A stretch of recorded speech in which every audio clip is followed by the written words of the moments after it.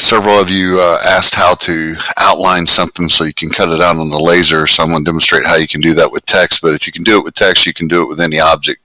So I'm going to type uh, a name there, and I'm going to come over here to text and font. I'm going to change it to some type of script font. Going to hit apply. The next thing I do is I'm going to resize this a little bit bigger. And let's just go right there and I'm going to turn off the the actual fill. So I'm going to click in this corner and I had to move my mouse around to get rid of that little ghost looking thing there. So I'm going to go to fill and stroke and stroke I'm going to turn it on so you can see my name there and I'm going to darken it up by changing the width of the line so now you can see that there's the name. But when I zoom in, you can see that they're not tied together, the letters. They kind of run into each other. So what I want to do is come up here, and I want to hit Union. And now, if we look really close, in this case it's kind of hard to see, but the letters actually go in and they, uh, they're, they're together, which allows me now to come up here to this path and come down to linked offset and you see this little diamond. So if I hold my shift or control key down and one of the two, and I'm going to try my shift key instead. And now I can make an outline around my name. And I'm going to grab my name and pull it out of that outline. And if I want to cut this, I simply click on it and change it to a red color like that actually control Z. I need to change the fill or the actual outline of it to red. So I'll click right here and pull this over.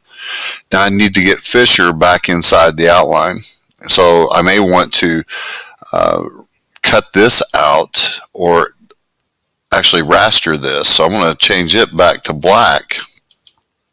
But the outline of it, I'm going to change uh, to blue. And that what that will do is it'll do a deep cut around the letters. So it'll deep cut around the letter, but not cut them out. It'll raster the letter so it looks like it's really has a depth to it. And now I'm going to hold down the control key or the shift key and I got both of them highlighted and I need to align them. So I come here to align and I click this button and this button and now they're right together. So when I send this to the K40 Whisperer, it will, if you haven't downloaded that, you need to, um, it will actually raster my name. Then it will come back and cut the line around every letter. Uh, not actually cut it out, but actually make a deep raster or a deep cut. And then it will come back and actually cut the, the whole project out. And that's how you uh, actually outline an object. So anything in red when you take it to the K40 Whisper program, it will cut it right out. But it will do the other. You choose which one you want. And I'm not sure if I even have that pulled up right now. Uh, let's see. This is the program, so I'm going to open it. And you'll see that when you import it uh, into, let me see if I can get this to come up. And I hope it opens up here. So, so let me try a different program here.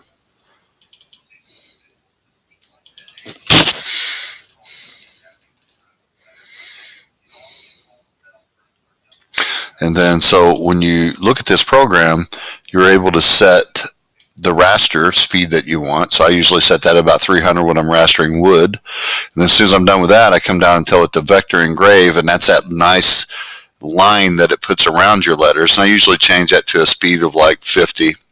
And then when I'm ready to vector cut, I'll change that down to five and make sure I have my air assist on. And so each time you hit the buttons right next to it as you want those uh, projects done. And to get the file, just go to open design file. And the beauty about K40 Whisper is when you update over here, you just hit save. And then when you come back over here to the program, you hit reload design and it'll immediately load the new image that or the new changes that you've made. I hope that helps you out.